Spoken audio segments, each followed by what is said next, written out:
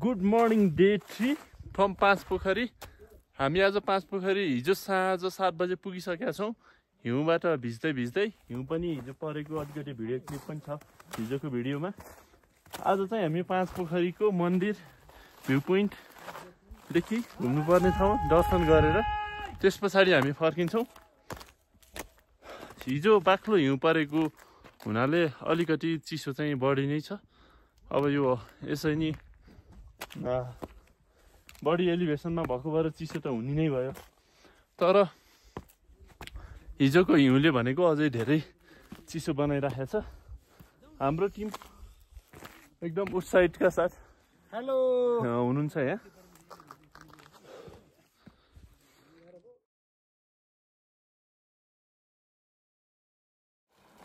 ल डुब्नु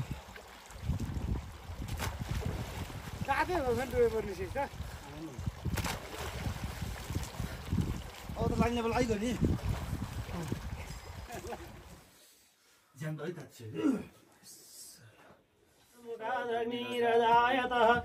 ओम धूपम आग्रयामि दीपम दर्शयामि पाँच पोखरी महादेवाय नमः साम्वत्सर शिवाय नमः।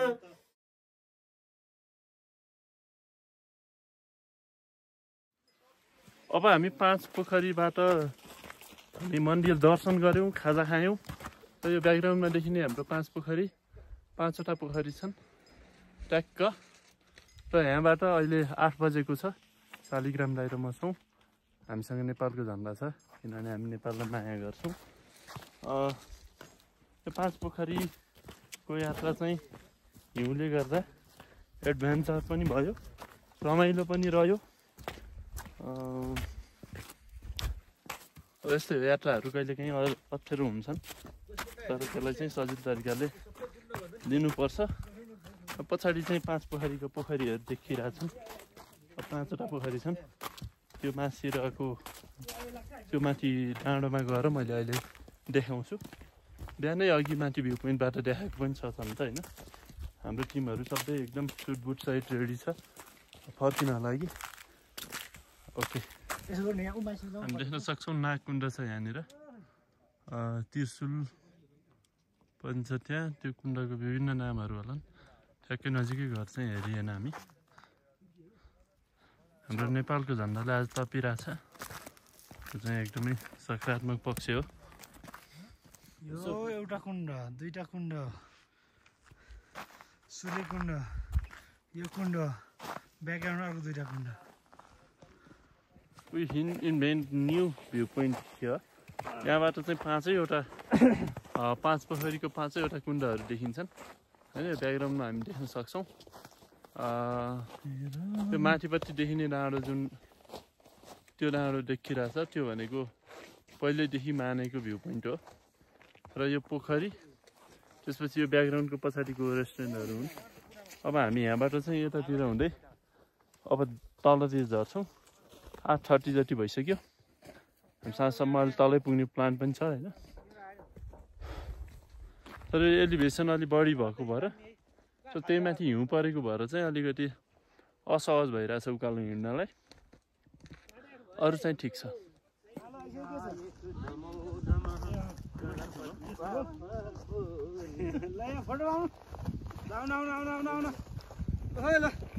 ल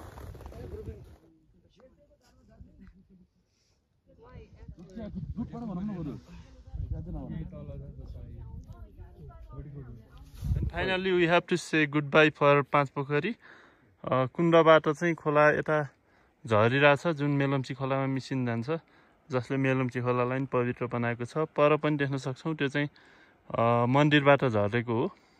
र यी दुईवटा मिसिएर चाहिँ तल मेलम्ची खोलामा पुग्छन्। योभन्दा तलको चाहिँ इन्द्रावती खोला होइन? इन्द्रावती खोला भन्छ यसको सुरुमा चाहिँ। अब हामीले चाहिँ गुड बाई गर्नुपर्छ हामी आज सकेसम्म धेरै तल मेलम्ची नै पुग्ने प्लान गर्छौँ। नसकेको अवस्थामा चाहिँ त्योभन्दा माथि। के हुन्छ त्यो म अपडेट गराइहाल्छु।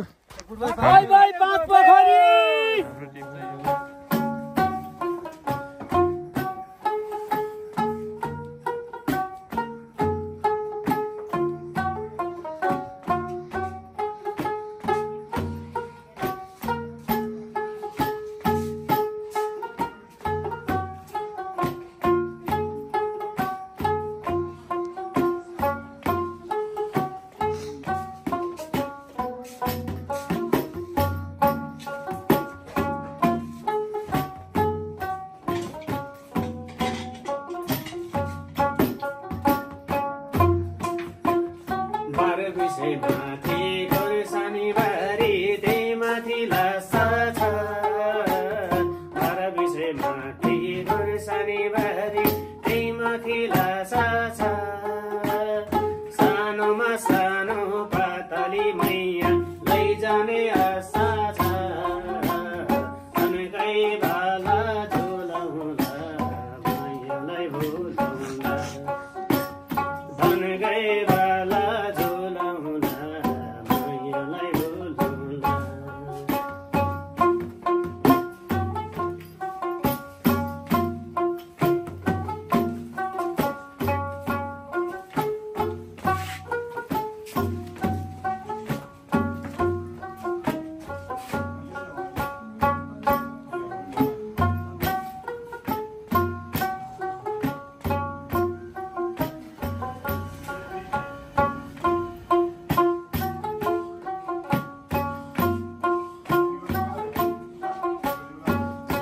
Amen.